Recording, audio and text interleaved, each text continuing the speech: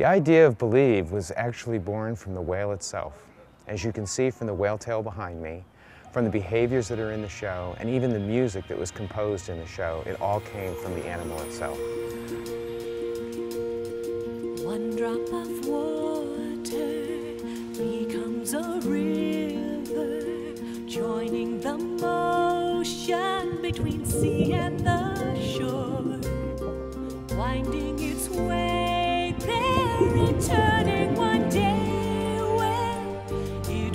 before.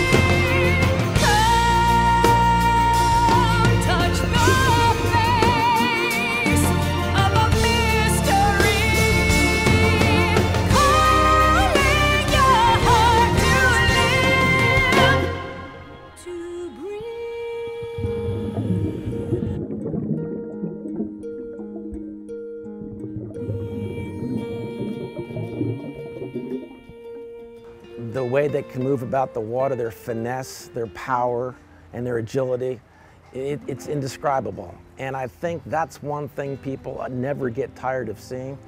We as trainers, we never tire of it. We see it every day, but we appreciate it every day. So we aren't special people.